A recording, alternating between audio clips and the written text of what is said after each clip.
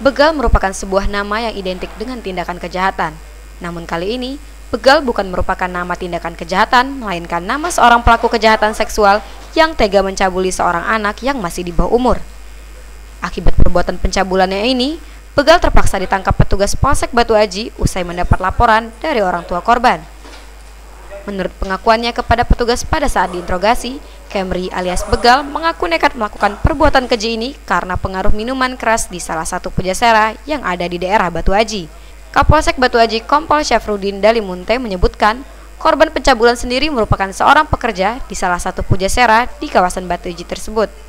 Pelaku diamankan di Jalan Raya depan Polres Tabarelang pada akhir bulan Juli 2018 lalu.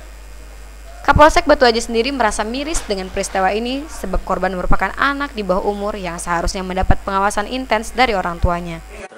Ya, untuk yang bersangkutan ini eh, kasusnya kasus cabul Ya. karena yang bersangkutan ini masih di bawah umur, jadi ada kewenangan orang tuanya untuk melaporkan eh, tersangkanya. Jadi itu yang kami tangani sekarang.